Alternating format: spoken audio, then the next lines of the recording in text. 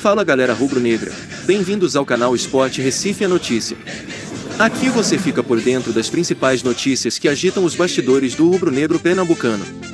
Inscreva-se no canal, ative as notificações, deixe o like e comentário, para receber todos os nossos conteúdos.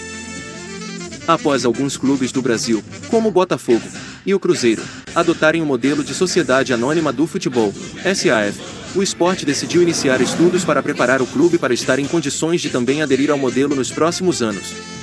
Em entrevista ao jornalista da Rádio Clube, Jorge Soares, o presidente do Conselho Deliberativo do Esporte, Pedro Leonardo Lacerda, revelou alguns detalhes das medidas que vêm sendo tomada pelo Leão para aderir ao modelo.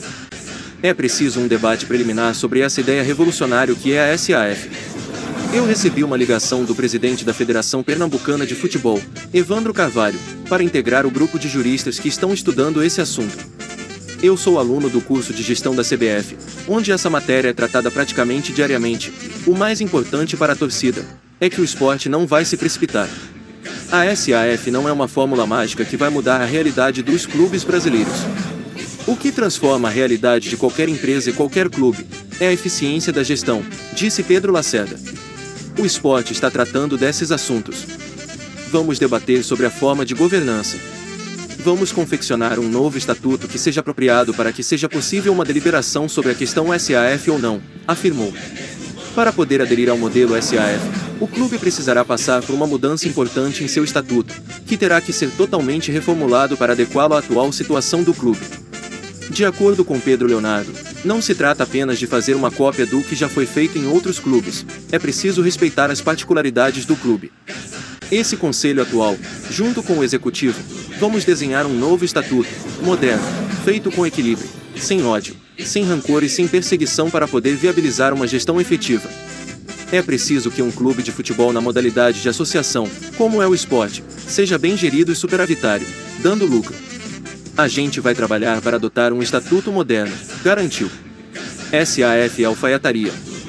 Não para copiar o modelo.